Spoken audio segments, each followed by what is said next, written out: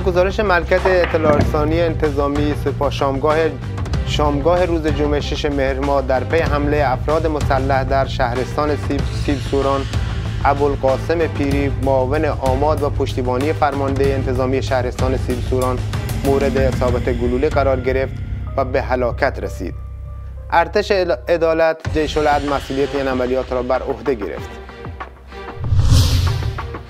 حمله مسلحانه حمله مسلحانه جیش به مقر به دو مقر در میرجاوه. روز جمعه 6 مهر در ادامه سلسله عملیات های پاکسازی و مجازات عوامل رژیم به دو پاسگاه سپاه پاسداران و هنگ مرزی فراجا در منطقه تحلاب شهرستان میرجاوه حمله نمودند.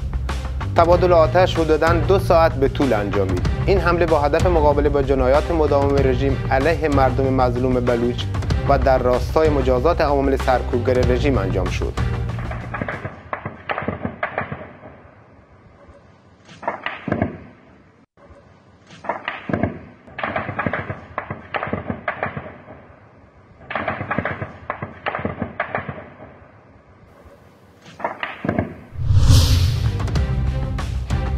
جمعه 6 شهریور ماه شماری از شهروندان زاهدان پس از اقامه نماز جمعه و خارج شدن از مسلا شعارهای اعتراضی علیه رژیم کار آخوندی سر دادند و خواستار مجازات عاملان و آمران جنایت جمعه خونین شدند.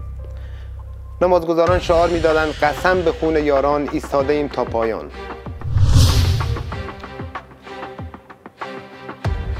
جمعه 6 مهر ماه در آستانه دومین سالگرد جمعه خونین زاهدان نیروهای سرکوبگر ضد شورش و لباس شخصی در معابر و خیابانهای اطراف مسلا و مسجد مکی حضور گسترده داشتند.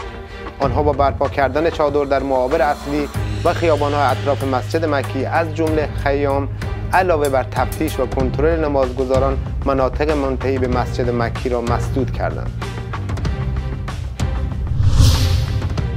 پنجم مهر ماه شماری از اهالی زابل در مقابل شرکت توزیع نیروی برق تجمع اعتراضی برگزار کردند. شهروندان خواستار رفع موزل قطعی مکرر برق در شهرستان زابل شدند.